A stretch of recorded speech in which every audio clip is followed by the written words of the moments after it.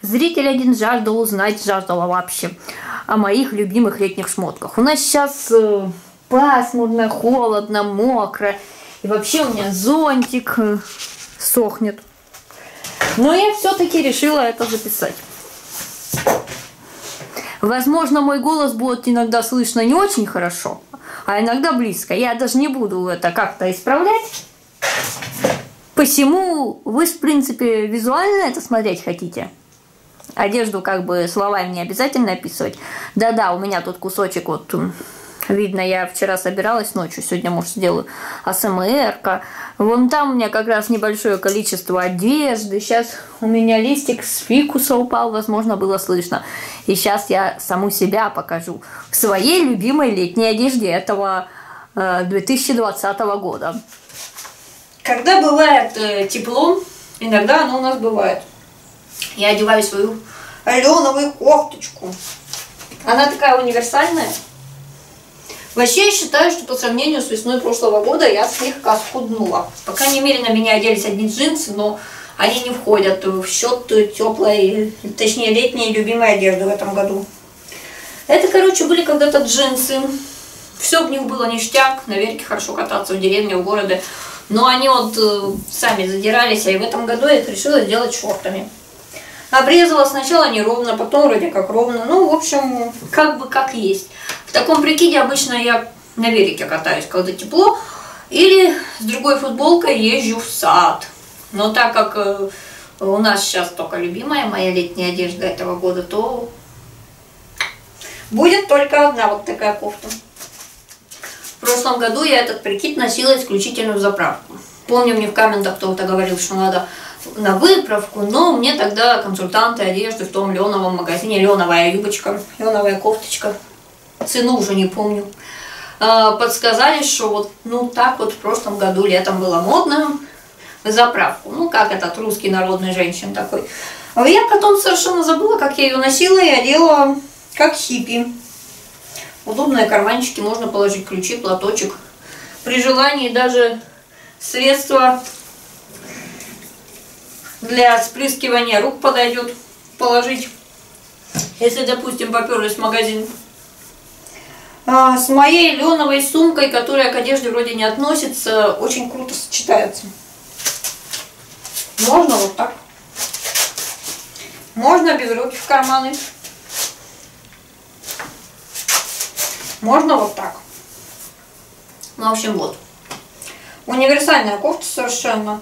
И юбке, и к джинсам, и к шортам. Ну, джинсы у нас э, к теплой, точнее, к холодной, наверное, не знаю, как назвать. Короче, к летней одежде сейчас не относится, хотя сейчас буквально я вот в магазин бегала, ездила, ходила в джинсах и вот в этой кофте и в курточке поверх.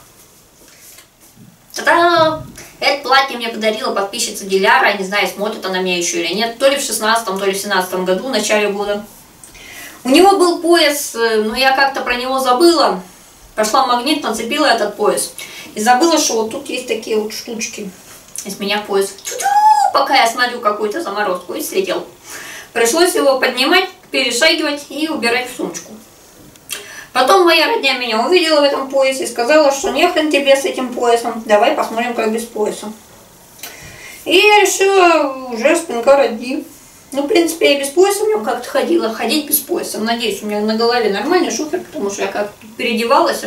Вот сейчас посмотрю на себя в телефон. Когда он выключил, он вполне себе как зеркало, вроде нормально. Короче, я в нем ездила в свое путешествие в позапрошлом, кажется, году с Ярубалтуром. Э, Пушкинские горы и что-то там еще. Оно может вот так вот быть. Оно само по себе переезжает вот так вот. Наверное, можно спустить вот совсем как-то на плечики. Ну, короче, клевое такое платье, хорошее, длинное, спасибо Диляре. Под него можно не одевать лифчик. Так же, как под ту леновую кофточку, льняную. Ну, вот моя подруга любит говорить леновые вещи. Я тоже от нее подцепила. Подозреваю, что это какой-то русский, россиянский диалект какого-нибудь там населенного пункта. Вот. Вот. Вот. Вот. И сейчас у нас будет последний мой сарафанчик, про который я совершенно забыла и страдала, думаю, надо мне сарафанчик. Я не помню, когда, где я его покупала, когда, ну, по-моему, в прошлом году, возможно, перед Абхазией. Я не помню, брала ли я это платье в Абхазию, но юбку-то точно брала. Но оно скорее вот, ну, когда уж совсем такая жаркая погода, в нем вот слегка жарко. Оно там какое-то искусственное, но материал такой прикольный. Хотя вот у этого платья тоже искусственный материал, но оно легкое. И сейчас я его тоже продемонстрирую. Вот такой сарафанчик замечательный. Вот так я стою, вы, выпитив пузя. Вот так я стою прямо. Можно носить на бретельках. В прошлом году меня эти бретельки так напрягали. И где-то до середины июня они меня тоже напрягали. Я их убирала. Можно носить вот так. В принципе, так оно как бы и предназначено. Да, рефак под него тоже не обязательно одевать.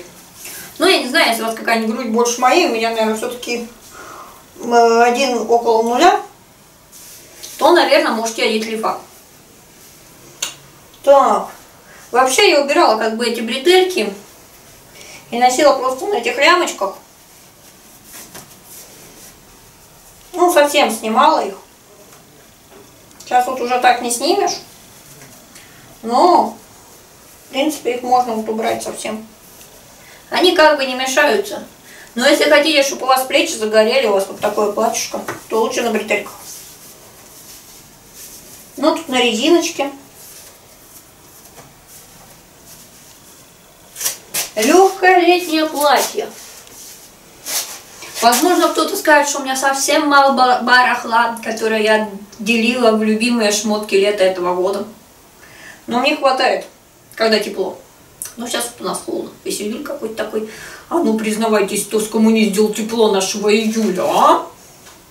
Мне сказали, что в Питере сейчас тепло. Э, в отличие от обычного, когда вот мы в Питер пару-тройку раз приезжали, ну, пару раз, когда вот конкретно так приезжали, все время было там как-то по большей части мокро и холодно летом. А вот теперь у нас мокро и холодно, а где-то там тепло. Несправедливость. Короче говоря. Есть другие топики, еще что-то, но это одежда, в которой я чаще всего хожу этим летом. Иногда хожу дома. В общем, весь такой обзор шматья. Всем спасибо за просмотр. Всем пока!